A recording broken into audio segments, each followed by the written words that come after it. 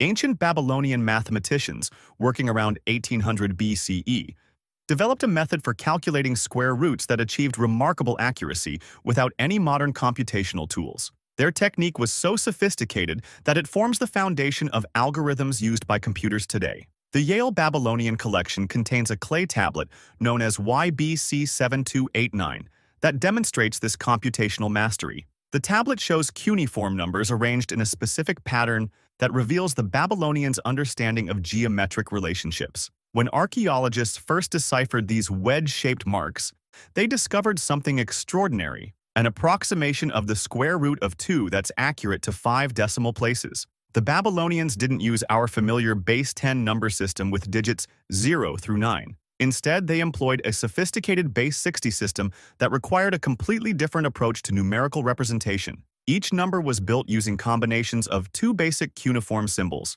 a vertical wedge representing 1 and a corner wedge representing 10. These could be combined to represent any value from 1 to 59, with position indicating powers of 60. This base 60 system wasn't arbitrary. It had practical advantages. The number 60 has many divisors, 1, 2, 3, 4, 5, 6, 10, 12, 15, 20, 30, 60, making fraction calculations easier for trade and construction. This same system survives today in our measurement of time and angles. 60 minutes in an hour, 60 seconds in a minute, and 360 degrees in a circle. On the tablet, the Babylonians represented their calculation of square root of 2 as a mixed number in base 60, 1 plus 24 over 60 plus 51 over 60 squared plus 10 over 60 cubed. Let's break down what this means in modern terms. The whole number part, 1. The first fractional part, 24 over 60 equals 0.4.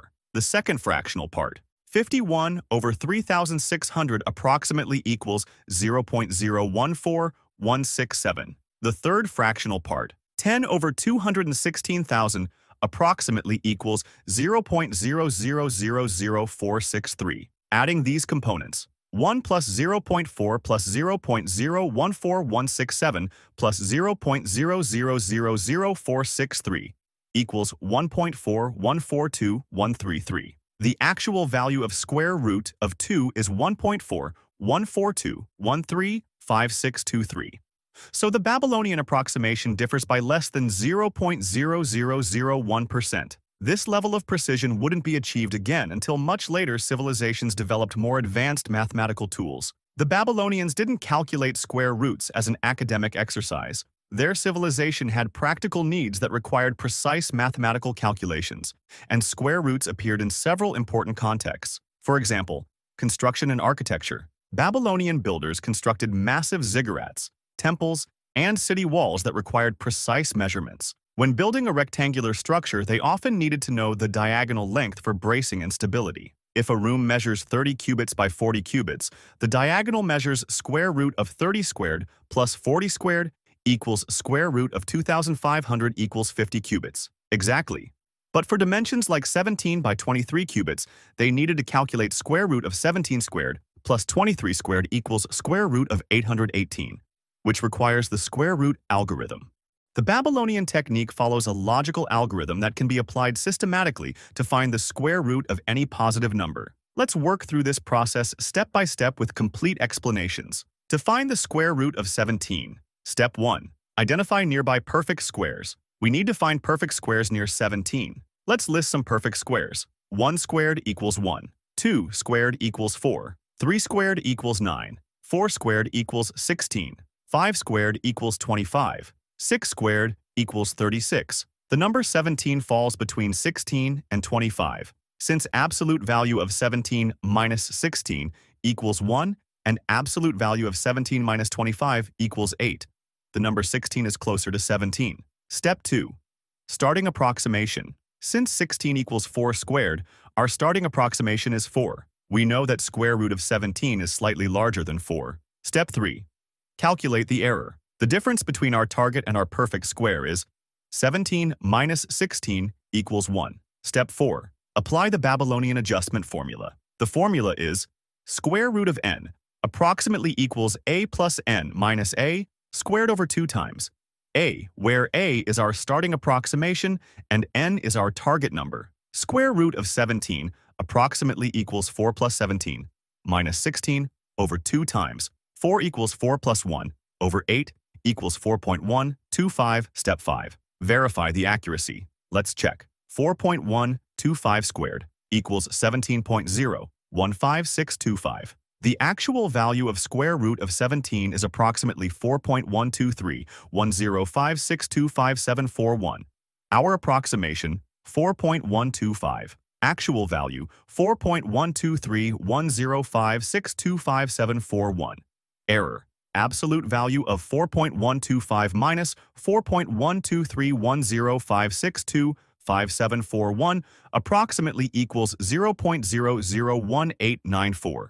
Percentage error 0.01894 divided by 4.12 31056 2574 1 times 100% approximately equals 0.046%. This is remarkably accurate for such a simple calculation. Let's try another example. Finding square root of 69. Step 1. Identify nearby perfect squares. Perfect squares near 69. 7 squared equals 49. 8 squared equals 64. 9 squared equals 81. Since absolute value of 69 minus 64 equals 5, and absolute value of 69 minus 81 equals 12, we use 64 as our closest perfect square. Step 2. Starting approximation. Since 64 equals 8 squared, our starting approximation is 8. Step 3. Calculate the error. 69 minus 64 equals 5. Step 4. Apply the formula. Square root of 69 approximately equals 8 plus 69 minus 64. Over 2 times 8 equals 8 plus 5. Over 16 equals 8.3125, step 5. Verify the accuracy. Let's check. 8.3125 squared equals 69.09765 The actual value of square root of 69 approximately equals 8.3 06623869292. Our approximation 8.3125. Actual value 8.30662 3866292. Error, approximately 0.00588. Percentage error, approximately 0.071%. Again, excellent accuracy with minimal computation. Now let's try square root of 23. This example demonstrates how the method handles cases where the nearest perfect square is larger than the target number. Step 1. Identify nearby perfect squares. Perfect squares near 23. 4 squared equals 16. 5 squared equals 25. Distances. Absolute value of 23 minus 16 equals 7, and absolute value of 23 minus 25 equals 2. Since 2 is less than 7, we use 25 as our closest perfect square. Step 2. Starting approximation. Since 25 equals 5 squared, our starting approximation is 5. Step 3. Calculate the error. 23 minus 25 equals negative 2. Step 4. Apply the formula. Square root of 23 approximately equals 5 plus 23 minus 25 over 2 times. 5 equals 5 plus 2 over 10 equals 5 minus 0.2 equals 4.8. Step 5. Verify the accuracy. Let's check. 4.8 squared equals 23.04. The actual value of square root of 23 approximately equals 4.795831523331. Our approximation, 4.8. Actual value, 4.79583152331. Error, approximately 0.00417. Percentage error, approximately 0.087%. The method works perfectly even with negative adjustments. Advanced example, finding square root of 111. Let's try a larger number to see how the method scales. Step 1. Perfect squares near 111. 10 squared equals 100. 11 squared equals 121, since absolute value of 111 minus 100 equals 11, and absolute value of 111 minus 121 equals 10. We use 121 as our closest perfect square. Step 2. Starting approximation. Since 121 equals 11 squared, our starting approximation is 11. Step 3. Calculate the error. 111 minus 121 equals negative 10. Step 4. Apply the formula. Square root of 111 approximately equals 11 plus 100. 11 minus 121 over 2 times 11 equals 11 plus negative 10 over 22 equals 11 minus 10 over 22 approximately equals 11 minus 0.4545 approximately equals 10.5455. Step 5. Verify the accuracy. The actual value of square root of 111 approximately equals 10.5356. 537529. Our approximation, 10.5455. Error, approximately 0.0098. Percentage error, approximately 0.093%. Even for larger numbers, the method maintains excellent accuracy. The Babylonians achieved their legendary five decimal place accuracy for square root of 2 through iteration, repeatedly applying the algorithm using each result as the starting point for the next calculation. Step 1. Nearest perfect square to 2. The perfect squares are 1 squared equals 1 and 2 squared equals 4. Since absolute value of 2 minus 1 equals 1 and absolute value of 2 minus 4 equals 2, we use 1 as our closest perfect square. Step 2. Apply the basic formula. Square root of 2 approximately equals 1 plus 2 minus 1 over 2 times. 1 equals 1 plus 1 over 2 equals 1.5. This gives us 1.5, which is our first approximation. Let's check. 1.5 squared equals 2.25, so we're overshooting by 0.25. Second iteration, refining the estimate. Now we treat 1.5 as if it were the square root of some perfect square and apply our method again. Step 1 treating 1.5 as our base. If 1.5 were exact, then 1.5 squared equals 2.25 would be our perfect square. Step 2. Calculate the adjustment. Our target is 2, but our base gives us 2.25, so our error is 2 minus 2.25 equals negative 0.25. Step 3. Apply the formula square root of 2 approximately equals 1.5 plus 2 minus 2.25 over 2 times. 1.5 equals 1.5 plus negative 0.25 over 3 equals 1.5 minus 0.08333 approximately equals 1.41667. Let's check. 1.41667 squared approximately equals 2.00694, which is much closer to 2. Third, iteration, step 1, using 1.41667 as our base. 1.41667 squared approximately equals 2.00694 step 2. Calculate the adjustment. Error 2 minus 2.00694 equals negative 0.00694. Step 3. Apply the formula. Square root of 2 approximately equals 1.41667 plus negative 0.00694 over 2 times 1.41667 approximately equals 1.41667 minus 0.00245 approximately equals 1.41422 fourth iteration. Continuing this process, square root of 2 approximately equals 1.41422 plus 2 minus 1.41422 squared over 2 times 1.41422 approximately equals 1.414235. After four iterations, we've achieved 1.414235. The actual value is 1.4142135623. The clay tablet shows 1.41421356. We've matched the precision found on the 4,000-year-old clay tablet.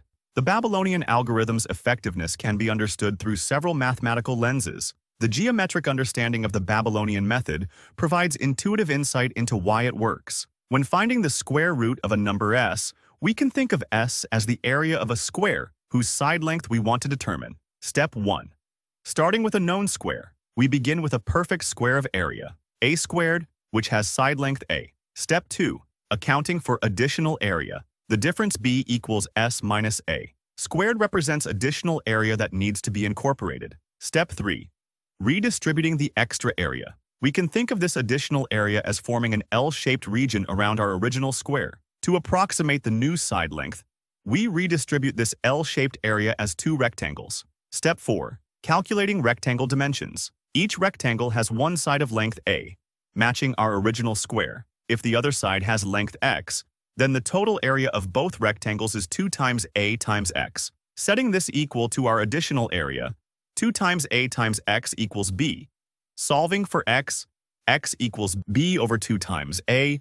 Step 5. Finding the approximation. Our approximation for the side length becomes a plus x equals a plus b over 2 times. A. This geometric approach shows why the method works. It's redistributing area in a way that maintains the fundamental relationship between a square's area and its side length. The square root algorithm wasn't developed in isolation. It was part of a sophisticated mathematical framework that the Babylonians used for practical problem solving. Let's work through some complex examples that demonstrate the method's versatility and power. A Babylonian farmer owns a triangular field with sides measuring 40, 50, and 60 cubits. What's the area? Step 1. Apply Heron's formula S equals 40 plus 50 plus 60 over 2 equals 75.